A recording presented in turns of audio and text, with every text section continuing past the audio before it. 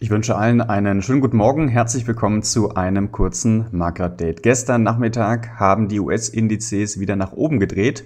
Die nächsten Widerstände lassen aber nicht lange auf sich warten. Das wollen wir uns gleich mal genauer anschauen. Den Risikohinweis gibt es natürlich wie immer vorab. Der Handel mit CFDs, der ist mit gewissen Risiken verbunden. Dessen sollte sich bewusst sein.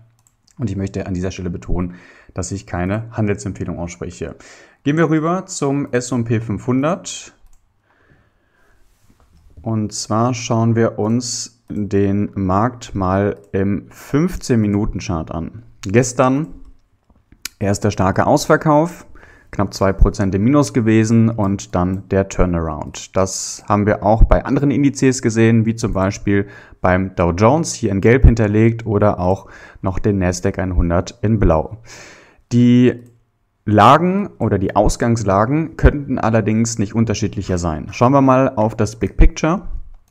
Der Abwärtstrend beim S&P 500 ist langfristig noch intakt und auch die kurzfristige Struktur spielt hier noch mit. Mittlerweile versucht der Index das 61,8% Retracement von der vorherigen Abwärtsbewegung zu durchbrechen.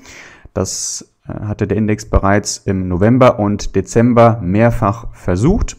Und entscheidend ist dann aber der Ausbruch über das August-Hoch, um dann diese Abwärtssequenz zu beenden.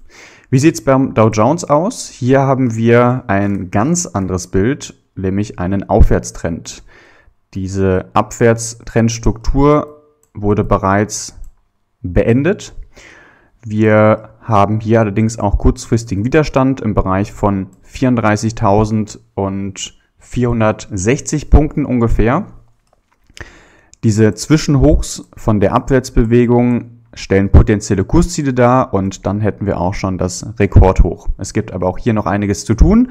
Starke Unterstützung gibt es vor allem hier bei 31.737 Punkte. Das ist nämlich der letzte Aufwärtsimpuls. Der Bereich müsste im Falle von stärkeren Rückgang verteidigt werden und das bedeutet, dass der Markt rein theoretisch auch noch Spielraum auf der Unterseite hätte für Rückgänge, ohne dabei den Aufwärtstrend zu gefährden. Der Nasdaq 100 befindet sich im Abwärtstrend.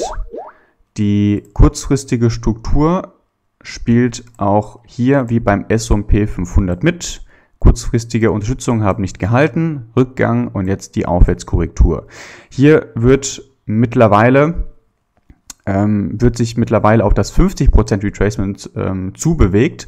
Das heißt, ähm, hier gibt es also noch einiges aufzuholen und das August-Hoch ist noch in weiter Ferne. Zusammengefasst, der Dow Jones befindet sich im Aufwärtstrend, der S&P 500 und der Nasdaq sind noch im Abwärtstrend, wobei der Tech-Index noch mehr aufzuholen hat. Mehr Analysen gibt es in meinem Video von heute Morgen. Den Link gibt es wie immer unten in der Beschreibung. Viel Erfolg für heute und bis zum nächsten Mal.